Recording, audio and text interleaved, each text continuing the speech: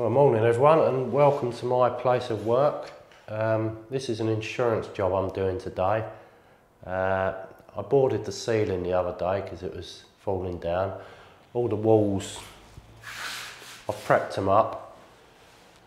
I had to hack a load of old plaster off because obviously the fire that was here has just pulled all the, pulled all the plaster off the walls. Um, yeah, so my mission today is get the ceiling skimmed and maybe hit a couple of walls. And yeah, so let's get to it. Let's get some plaster mixed up.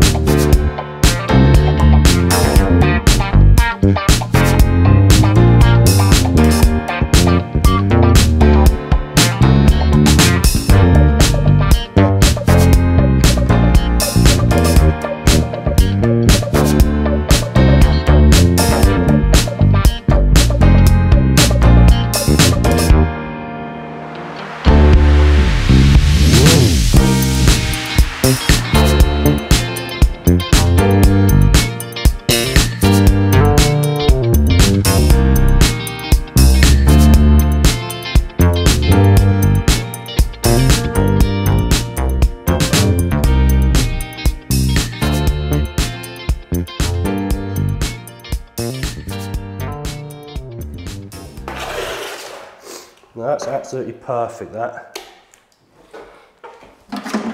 What you want to do as well,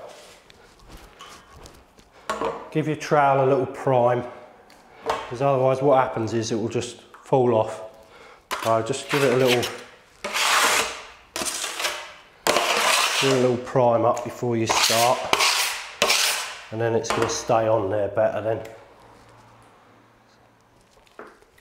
Right. Let's get cracking.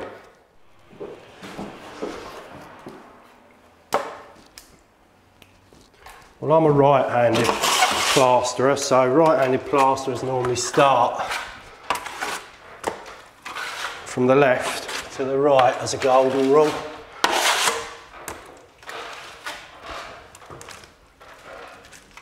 So basically, it's just a matter of get it on first.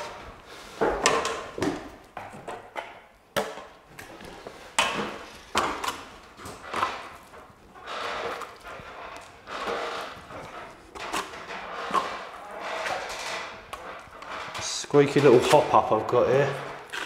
That should be quite annoying.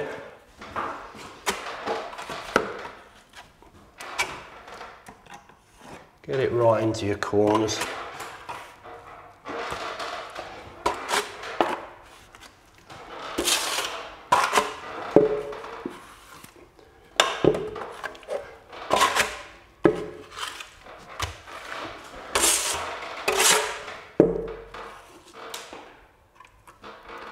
Don't worry about, I mean, get it fairly flat, but you haven't got to worry about getting it dead flat because I've got my speed skims over there in the corner. That's what's going to flatten them out for me. Just concentrate on getting it on the ceiling and not dropping too much.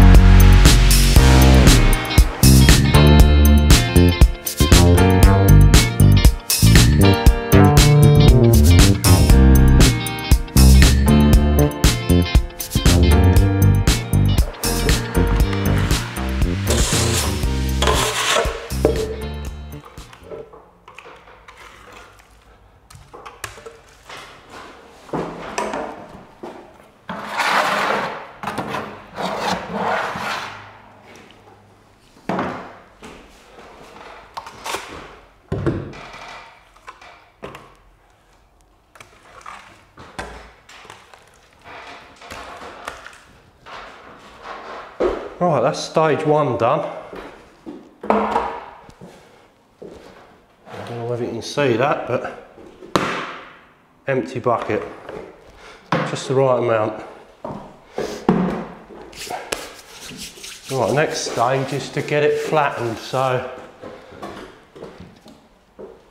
what we have here is um, the old trusty speed skim. Just give that a little wet down. It's got um, a little roller pole that goes on here, it's a little attachment.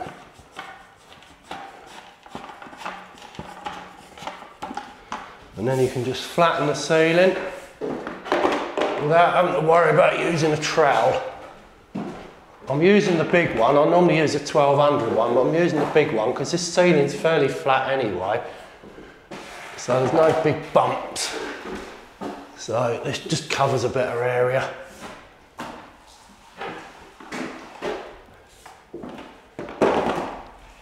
That's perfect that. Lump in there. And then what plasters comes off, you can just put it back in the bucket.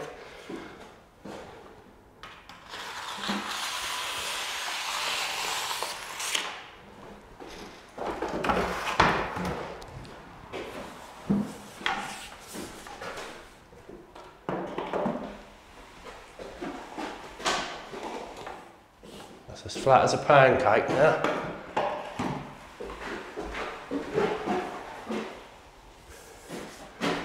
Go both ways on it.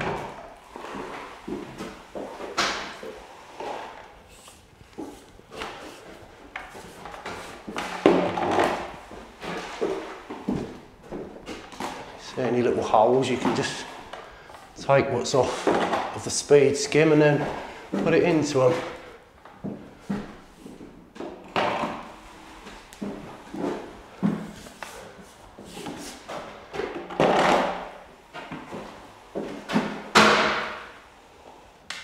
So that's quite good.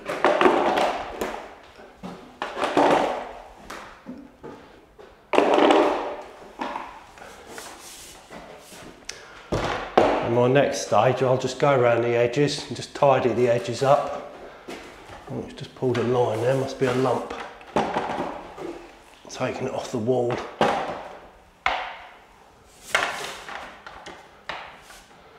Yeah, like I say, I'll just go around my edges with the trowel now, just tidy up any areas and job done.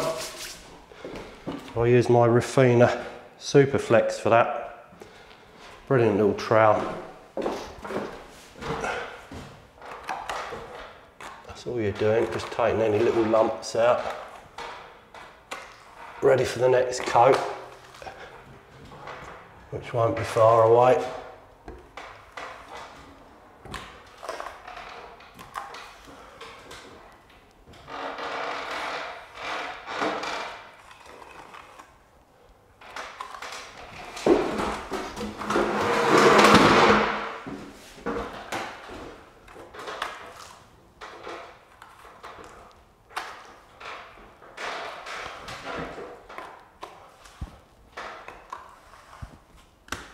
See any lumps along the way, just fill them in.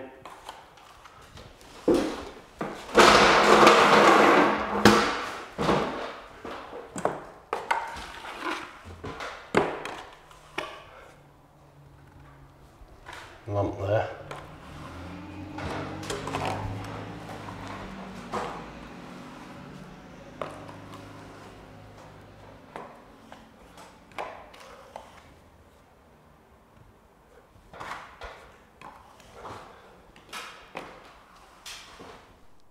Well, that's the first coat on. All nice and smooth, all the edges are done. Just got to give that 10 15 minutes and then I'll put the next one on. It's come out lovely and flat though.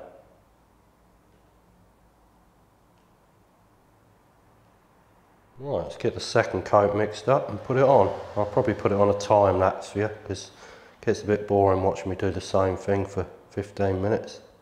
So let's get cracking.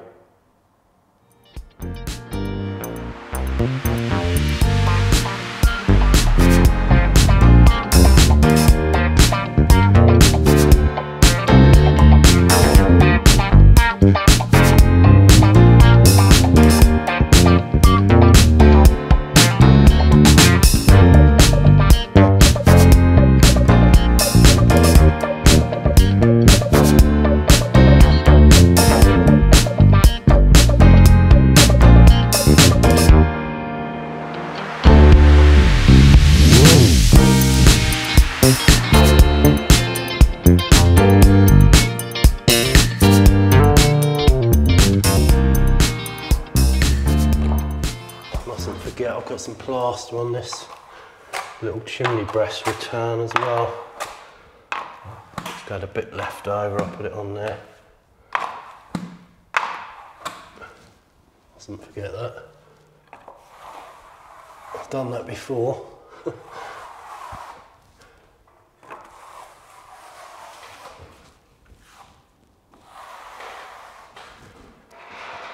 Beautiful. Well, that's the worst of it all done now. It's just a matter of wait for it to wait for it to pull in a little bit and then can start giving it its final trials,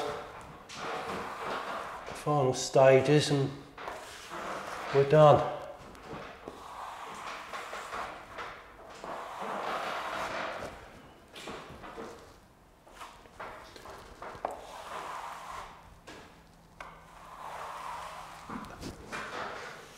Just leave that alone for five minutes.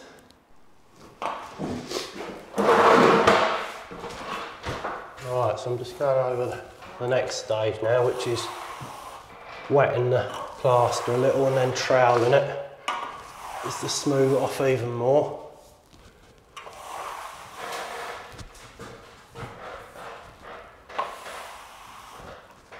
This is what gives it its nice finish got all the holes out now, so this is the next bit.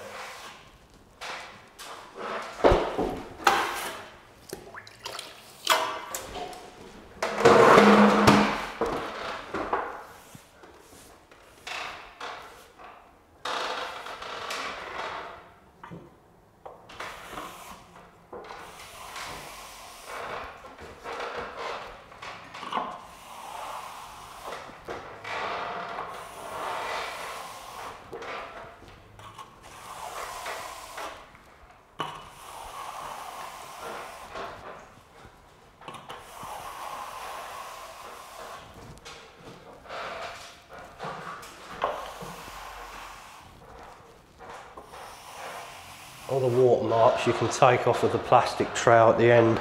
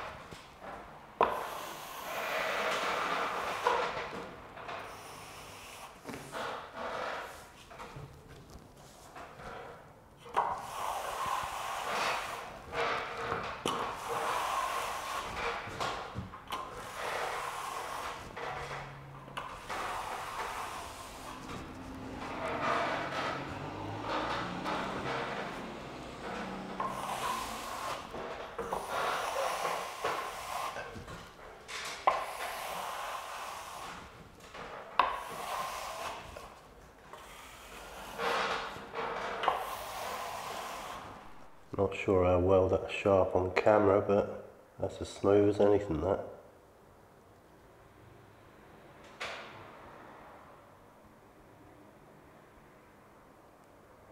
No watermarks. I think I'm going to hit this wall now.